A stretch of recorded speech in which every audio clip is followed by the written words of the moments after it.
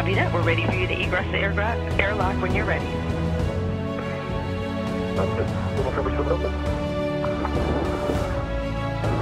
And just like that, you're seeing a live view of the hatch thermal cover swinging open. Ground IV Stephanie Wilson gave our spacewalkers today the go to egress.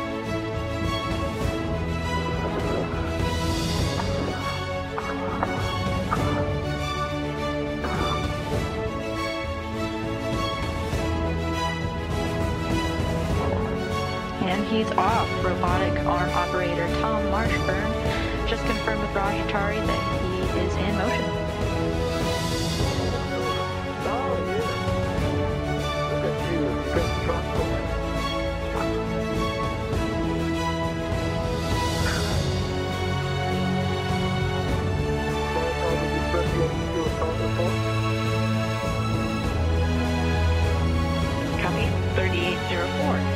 Excited that uh, Raj is having a chance to fly in the smooth and friendly skies of Kayla and